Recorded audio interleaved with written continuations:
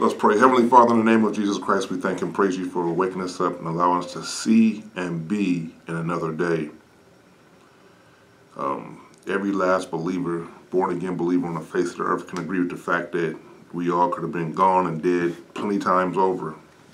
But your grace and your mercy has kept us here because we still have work to do. We have things that you have called and created us to do, Father God and revealing your glory to a lost and dying world. We just ask and pray, Father God, that as we share what you have for us to share today, Father God, that it would encourage, inspire, rebuke if needed, correct if needed, anybody and everybody that's on this journey that we call life for you, Lord Jesus Christ. Allow the words of my mouth and the meditation of my heart be pleasing in your sight. In Jesus Christ's name we pray. Amen. Try. I don't like the way this thing is. There we go. Try to put that up a little bit. Okay, today we'll be sharing. Our ministry is Team Jesus USA, Team Jesus USA Church, Team Jesus International, and Hand of God Live, the platforms that we use and share the gospel from. This is our studio we use in Florida called Creation Station. This one just happens to be in Lantana, Florida. There is one in Wellington, and there's one on the main branch. And if we can't book this one, we'll book those. All you got to have is a library card or driver's license, and they're free to use. So we do our midweek miracle sermon here, as well as our Sabbath word we record here, and then we upload that one for replay. We share simply the gospel of Jesus Christ out of the King James Version of the Bible is what we use. I'm saying all these things for a reason. Today we're going to be sharing since we've just moved here to Florida in August full time. This will be where we launch from. In years past, and I'm going to be giving a little bit of history on the ministry because I believe it's important that as your ministry grows, that you should give a state of the ministry and to share with people. And since the majority of my audience is online, I want to be sharing the state of the ministry and where we're at and what's going on and how things are going in the ministry. And I'm going to start from the very beginning and share um, how we came to be who we are, why we do what we do, the whole nine, the who, what, when, where, and how. That's what the Lord has placed in my, my heart to share today. So we will be sharing scripture, obviously, because our ministry is based out of the scripture. Obviously, being called Team Jesus, and we use USA because we're in the USA. This basically just tells us where we at the team talks about the fact that it's a body thing, Jesus, the body of Jesus Christ, or the team body, body of Jesus Christ, and then where we're located, USA. We do own Team Jesus International also, and we share internationally. We, we help um, international ministries. So Team Jesus International is ours also. But today, like I said, we'll be sharing the foundation of who we are and to understand through the Bible where it is when God had created man from the dust of the earth, which he said he did, and he told man to take dominion over the earth. The way we take dominion, first and foremost, is by sowing the word of the living God. When we sow the word, what happens is that we will reap what we have sown. Simply that. As we sow the word, those of us that accept their calling as a minister or a preacher or anybody, evangelist, anybody who shares the gospel of Jesus Christ, we sow the word and we sow the word where it's needed. Right now, we're sowing in the Instagram Live, Facebook Live, um, TikTok, and as well as YouTube. We have I have four cameras staring at me, and I'm sowing the word. And when God called me to the ministry, I was clueless as to what He wanted me to do and it's no not a mystery or, or, or, odd thing that I was called because I was um, raised a, in a Christian family. Um, as long as I, far back as I can remember, born in 1969, my great grandmother, who shaped my head, because that was before they put the little beanies on, on a baby's head. She, uh, they told me my great great grandmother shaped my head. She, I'm pretty sure she was praying or laying hands on me when she was doing that being one of the oldest grandchildren in our family at that particular time. First, one of the first grandchildren born to my grandmother, and then with my mother being the oldest sibling of my grandmother. So everything, when I look back on it, I could see how it was that God was engrafting another preacher into another generation of our family because our family has people who was ministers and preachers and missionaries in it. So it's not strange that I am who I am. It took me a while to realize that's what God has called and created me to do because as humans, we see stuff and we want to do what we see so often more so than what we're called and created to do. And it took me until I was 27 to submit to, to the purpose that God had for me to be on this earth. I, I recognized it and realized it at the age 23, but from the age 23 to the age 27 when I submitted, I ran. I ran from the responsibility of what I, what I believed that God was calling and creating me to do. So, little backdrop on the ministry because we're here to talk about Team Jesus USA or Team Jesus USA Church. Those are the two main functions of this ministry. Team Jesus USA is primarily the outreach of Team Jesus USA Church. A church is a, a, a fellowship assembly. We, we're out of Ephesians 4.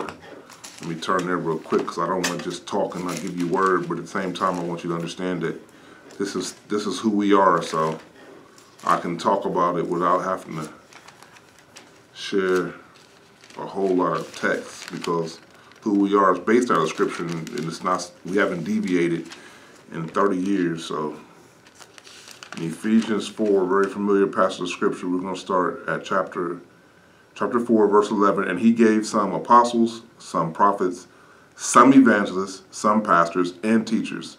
This is why he gave them in verse 12 for the perfecting of the saints for the work of the ministry for the edifying of the body of Christ. How long till we all come into the unity of the faith and of the knowledge of the Son of God unto a perfect man, unto the measure of the statute, stature of the fullness of Christ, that we henceforth be no more children. In verse 14, that we henceforth be no more children, tossed to and fro and carried about with every wind of doctrine by the sleight of men and cunning craftiness whereby they lie and wait to deceive. So when God called me to the ministry, it was based off the fact that he would use me to do what he, he called and created me to do. That's and I'm to talk about how Team Jesus got birthed. That's really what this recording is all about today. Um, I will say back in the early 90s, maybe 92, 93, um, me and about five of my preacher friends, Craig Gibson, Curtis Turner, Dwayne Lopes, Greg Joyner, we was all going to go to, we was all going to Greater Emmanuel, a church on Sinclair Road in Columbus, Ohio, to see Bishop T.D. Jakes, who was coming to preach there. So we all got together as young ministers for Christ and decided to go hear him preach.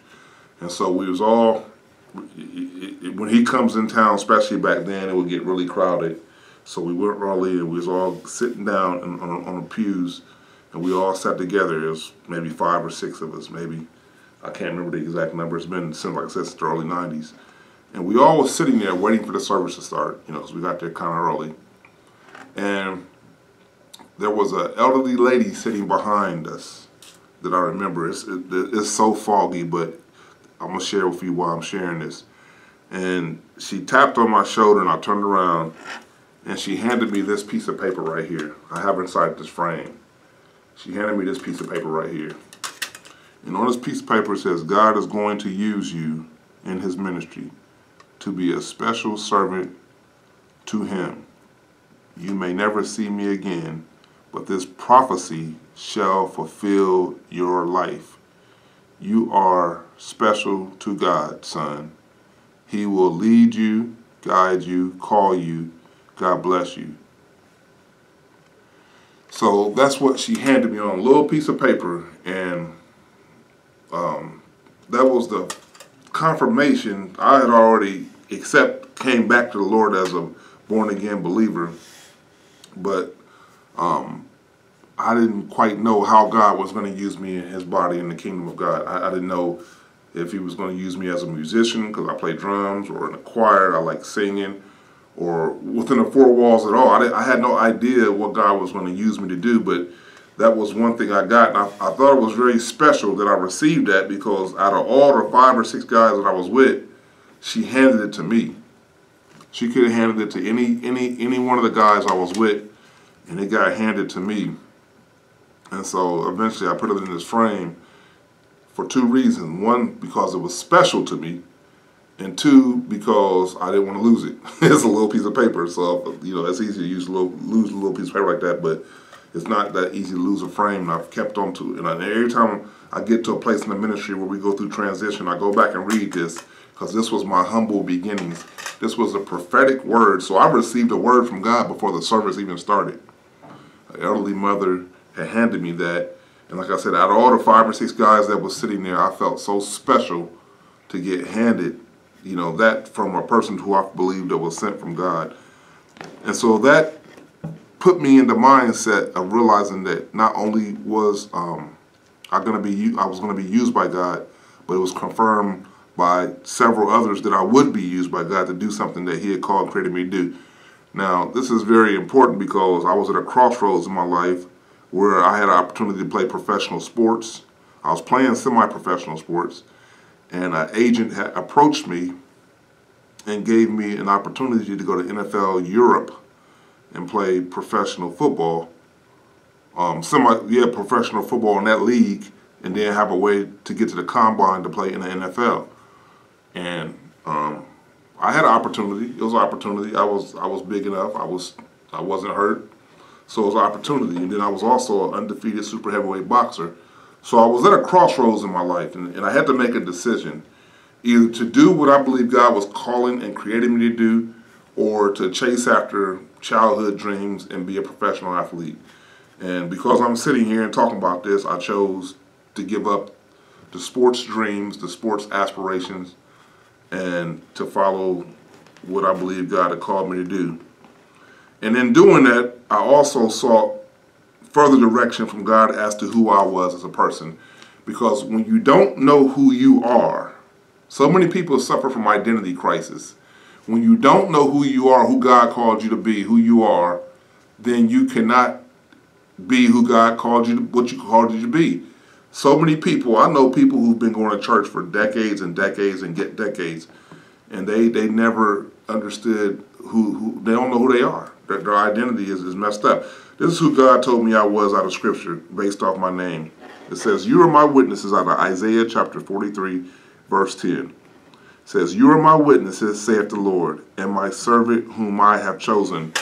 Now remember, this was given to me, and on here she said, the, the mother said, You are a special servant to God. So wording was really important because this connected with the Bible and confirmation. You're, you're my witnesses, saith the Lord, and my servant whom I have chosen, that you may know and believe me, and understand that I am he. Before me there was no God formed, neither shall there be after me. I, even I am the Lord, in verse 11, and besides me there is no, uh, no Savior. I have declared, I have and have saved. I have shown when there was no strange God among you. Therefore, you are my witnesses, saith the Lord, that I am God. Yea, before the day was, I am he, and there is none that can deliver out of my hand. I will work, and who shall let it? Thus saith the Lord your Redeemer, the Holy One of Israel, For your sake I have sent to Babylon, and have brought down their nobles, and their Chaldeans, whose cry is in their ships. I am the Lord, I am the Lord, your Holy One, the Creator of Israel, your King. Thus saith the Lord, which maketh a way in the sea and a path in the mighty waters. Verse 17. Which bringeth forth the chariot and horse, the army, and the power. They shall lie down together. They shall not rise. They are extinct. They are quenched as tow. Remember ye not the former things, neither consider the things of old. I'm going to stop right here. Behold, I will do a new thing. Now it shall spring forth. Shall ye know it? I will even make a way in the wilderness and rivers and in the desert.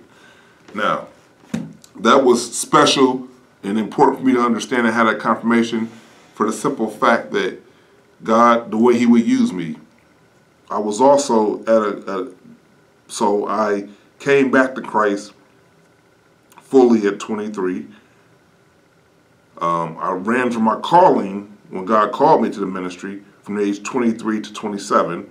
I submitted at 27 and um, started being trained to be what I believe was believing God was calling me and creating me to do. As, as much as I love the church and the building, the singing, the choirs, everything that goes inside the church, God was calling me, I believe, to, to do things outside the four walls of the church.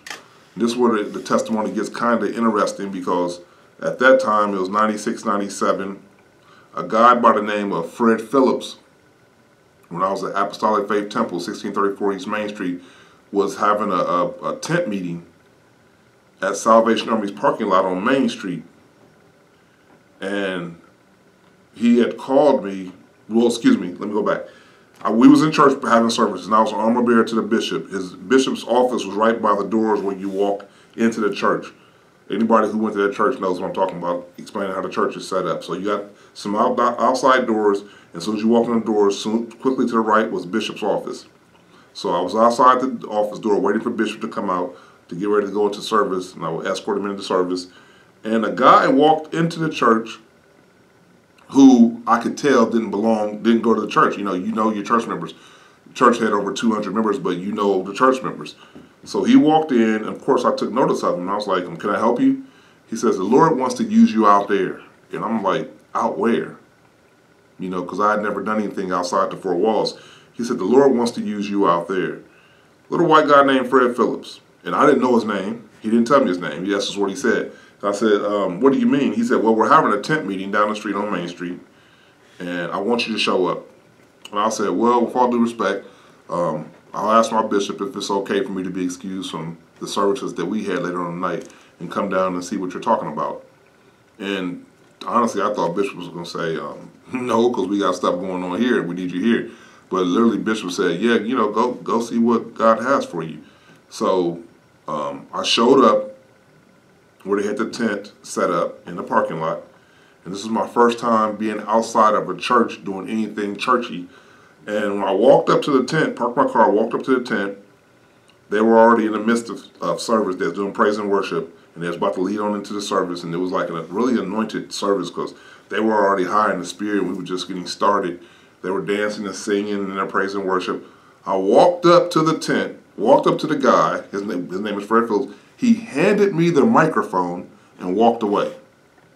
First time I ever been given a microphone in my life to do anything on the microphone. And I was like, what do you want me to do with this? And he says, do whatever God puts on your heart. And that was the very first time. I have the video of this. I have the video of this actual service that's going over because a, another guy named Robert Harris was recording a VHS, big old camcorder. He was recording the service. So I, I got a copy of the tape and I actually have it. And this was so instrumental in me being called and chosen to do what God has called and created me to do. This is, to me, in my life, this is just as important as the call of Moses, the call of Abraham, the call of David, the call of the way Joseph got used.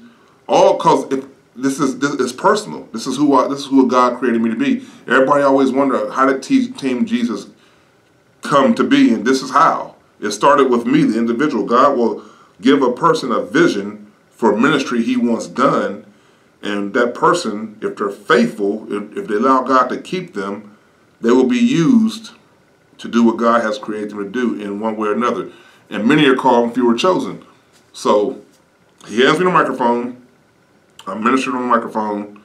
I just started singing with the people, share word, just start encouraging people. There's some homeless folks there, and I got this whole videotape. You can go to YouTube and look for it. Um, I think I, it's entitled under Team Jesus USA. Search Team Jesus USA in YouTube, where we have over 6,000 videos.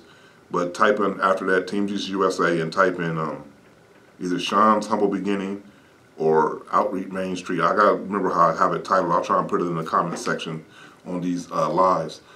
So that's how it started for me. And while I'm there ministering, the guy on the camera, whose name is Robert Harris, I know him because I ended up doing some t-shirt printing with him. He said, go team Jesus. He, he says in the video, I have it. I have the recording. That's actually on my phone. I've kept. I keep that. He says, "Go Team Jesus." Now I didn't pay him no attention, obviously, because I'm up there on the microphone. He's holding the camcorder maybe ten or twenty feet back. So after I hear it on the video, when I'm watching the playback, soon as he said, "Go Team Jesus," it resonated with my spirit and connected with me in a way no other words other than God talking to me had before. And as you can see, here it is. That was back in 1997. This is 2023 now. How important it is for when God speaks a word through somebody. Or Robert Robert's not a minister, he's not a preacher, he's not a prophet, he's none of that stuff. He was a cameraman holding this camera saying, Go Team Jesus, watching us all work together at winning souls. And from him speaking that and me hearing it on the playback, when I was watching the playback, it resonated with me. And it still took from probably 96, 97 to 2001 before I registered that name in the state of Ohio for the ministries that we have had to this day.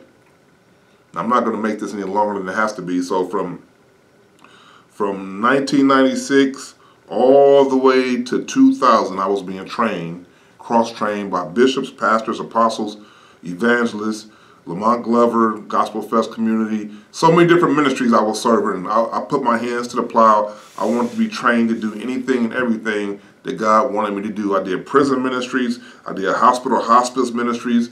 We did uh, food, obviously, did clothing. We did every children's ministries, feast. We did every kind of ministry you can possibly think of.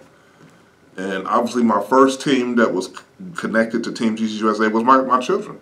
At that time, I had five, four children, and um, they were they were they was draped in Team Jesus clothes. I've always I used to be an airbrush artist, so we did T-shirts. So we always had T-shirts. It was always uniform and clothes that said Team Jesus, and we used it as a witness. The first holy roller, the vehicles that I drive. Anybody know me? Do I drive vans and vehicles that say Team Jesus on it and has stickers and bumpers and stuff all over it with scriptures. The very first one was donated to us. Nina Taylor from WVKO in Columbus, Ohio, people know her. Nina Taylor had a van that she wanted to donate to my ministry, and she donated to me. It was just a regular old conversion van. So I took that conversion van and painted it and put Jesus Saves on one side, put Heaven or Hell on the other side, hand painted that van. That was the very first holy roller I ever had in 1998.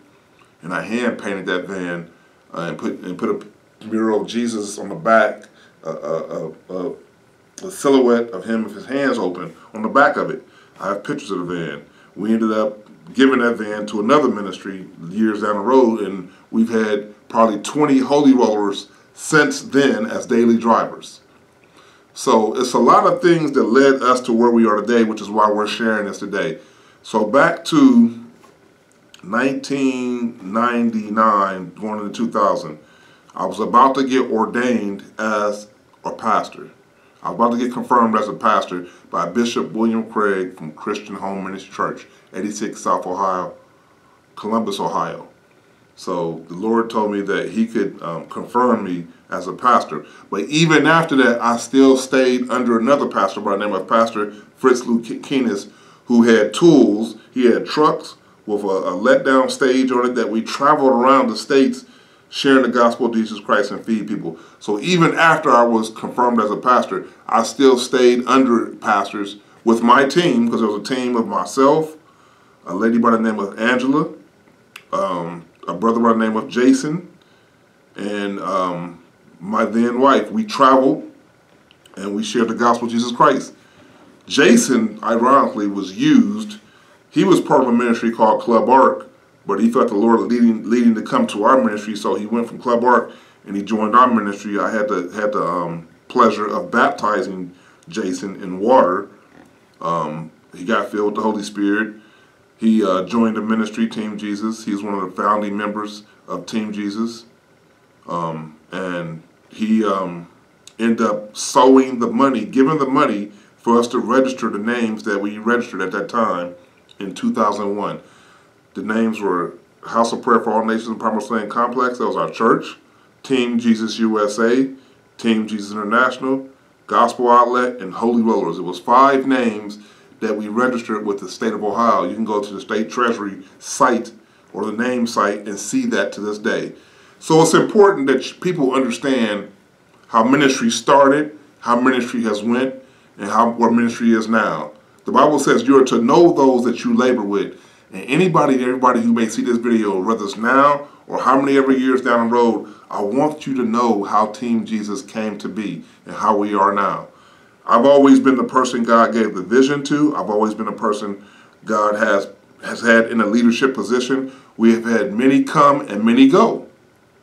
We've had we're in the state of Florida now. This is a new place. So there's no acting members with me doing this work right now. There are those who have reached out to me with a desire to want to join, and they may or may not, now that I'm here in Florida as a resident, because we just moved here a few months ago in August, and it's now October. So there will be people coming and joining, and what God has showed me and shared with me is that I need to share this with those who don't understand how, to, how long this ministry has been going on.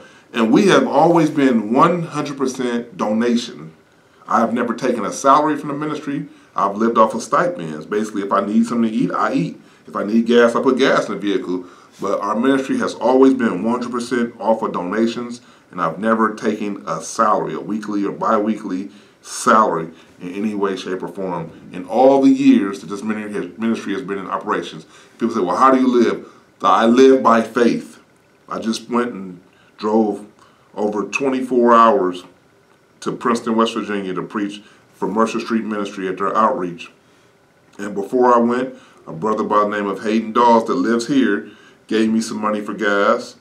Um, and that, will, that, that, enabled me to go and preach. And uh, when I preached, an elderly man approached this thing and says, how do you live? I said, by faith, God provides. He says, well, the Lord spoke to me and told me to give you this. He gave me some money and I got back. it's just that simple. People always ask, how do you live? How do you maintain? How do you do this? How do you do that? There are 16 children that I, I, I have had the pleasure of being a father to in one way or another. Seven biological, nine stepchildren. The last ones are, are, there's four with my current wife. We got married December 5th, 2022. She has four children. Now I'm a stepdad to the last four, which makes 16 total. The oldest is 16, 14, 13, and 5 years old. My wife is 39. I'm 54. Today is 10 17 2023. Team Jesus USA is still alive and kicking. Has been it's a God ordained, God anointed ministry that's completely and and solely set out for soul winning. I don't get caught up in people's issues, their isms, or schisms. I don't get caught up in my own stuff. I'm focused 100,000% on saving souls. I was ministering to people before I came in here to record this sermon. They see the Team Jesus van, they see the Team Jesus shirt, and they have questions. They pull my TZ. They want help. And that's really all it's about. In its simplest form, this ministry was birthed from the beginning when that man came into that church back in 1996 or 7 and said, God wants to use you out there it started that. That's what that's what began the process of me being outside the four walls. Yes, I do preach inside the church if, if need be, and I can. I spent years being trained as a church church guy. Every part of that, every aspect of the church, from administration to music to church building to church growth, I've been a part of in one way or another for years. I was raised in that. But God called me out, and Team Jesus USA is the ministry He has given me. Team Jesus USA Church, Team Jesus International, and a plethora, plethora of other ministries that we do. So this is the state of the ministry. Right now we have two accounts for the ministry, and neither account has over a hundred and some dollars in it because we live by faith, not by sight. When we get money donated to us, it goes to the purpose of the reason for which it was donated. If somebody gives money for clothes, we get clothes for the homeless, we give them to the homeless. If we get clothes for food, we get food, we give stuff for the food. If we need money for a vehicle, God sends money to get the vehicle or van running, that's what we do. It's just really that simple. And I'm sharing this prophetically this day, 10 17 2023, because millions are about to come through this ministry. The Lord told us in His Word, if you be faithful over a few things, I will make you ruler over many. It's been prophesied the exact same way this prophecy was given, way back in the early 90s, 92, 93, the same way this prophecy spoke about me being used in ministry, excuse me, And I have been being used the same way that has happened. This next phase is about to happen. Excuse me, God is going to send in funds, money, for us to do the, the next phase of things that we need to do before He comes back, which is in win souls. We got a lot of plans for Florida, a lot of things that we plan on doing. And Florida's a bigger place with more population, different languages of people. So we're going to need different things. We need bigger things. Anybody know how we did things in Ohio and even a little bit in West Virginia? Because we, we was in Ohio. I was born in Bluefield, West Virginia in 1969. My mom moved us to Columbus, Ohio, and I was there from a child, uh, elementary school, all the way through high school to the age. And I, we moved from Ohio to West Virginia in 2015 and did ministry in, in West Virginia and I would come to Florida in the wintertime. And the way that happened, we're gonna, I'm gonna talk a little bit about how we ended up in Florida in the first place. So we're primarily an outreach ministry, meaning we specialize on things outside the four walls. So I was praying and seeking God, said, Lord, how is it that I can do outside ministries in the wintertime in, in Ohio when it's negative seven degrees or, you know, it's cold outside. You can't talk to people about Jesus when they're freezing. And so that, that every year that was the issue for me because we had to put up all our tools for outreach and, and bring them out when it's spring. And so it got to the point where we was just, you know, we had our church services that we, we had a church, but, you know, that's, I'm an outside person. And so I prayed and prayed and prayed, and three opportunities opened up one in Texas, one in California, and one in Florida. So I didn't know which door I was supposed to go in, so I prayed and fasted. Preaching online in 2006, online ministries got birthed in 2006 after I ordained the first pastor over our churches in Ohio. 2006 is when that happened. Have video of that too. We have video of everything. And um, a young lady here that was going to a church saw me preaching and said, have you ever thought about doing what you're doing in Ohio here in Florida? I was like, no. She said, well, you know, we have an opportunity in a place where you can come and stay for a few days and come and pray and, and see if God desires for you to come and do this here in Florida. And so by me being obedient and going to online preaching, going to online preaching opened up a door for me to be able to come to Florida. And they gave me a car to use and a place to stay. And I drove to the beach. I got lost, so I just said, uh, punched in closest beach. Went to the beach and was walking on the beach praying and asking God, God, is this is, is this, if this is where you would like me to come and do ministry, I need some form of confirmation so I can be in your perfect will. I don't want to just be in your permissive will. I want to do what you're called and created me to do. So I'm walking down the beach, just talking to, to God, and a strange elderly lady walked up to me and said, Can I pray with you? And I'm already praying, so she starts praying, and she's saying stuff in the prayer that only God could have told her about me, the ministry, and the, that God desired for me to come here and do ministry. And so that was 20, that was October 2012 when that happened. And so I went back to Columbus after after that divine appointment. I flew back to Ohio.